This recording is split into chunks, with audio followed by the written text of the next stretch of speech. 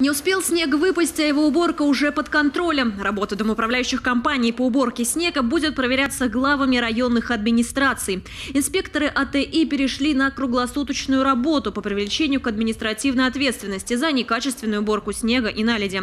Нарушения уже были выявлены в районе улицы Нестерова. Там на тротуарах и проездах гололед. Отвечать по закону за это будет домоуправляющая компания. По поручению главы города Владимира Александровича Панова АТИ переведено на круглосуточный режим работы. В первую очередь, конечно же, уделяется внимание дворовым территориям, тротуарам, пешеходным дорожкам, где наши граждане, жители передвигаются.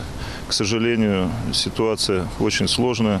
Дом управляющей компании не справились с первым снегом. Оценка им двойка. За некачественную уборку тротуаров и дворовых проездов ответственные будут наказываться штрафом на сумму от 3 до 7 тысяч рублей для должностных лиц, от 10 до 20 тысяч для юридических лиц. Оставить обращение по уборке снега можно через информационную систему «Антиснег». Дарья Кульбакина. Время новостей.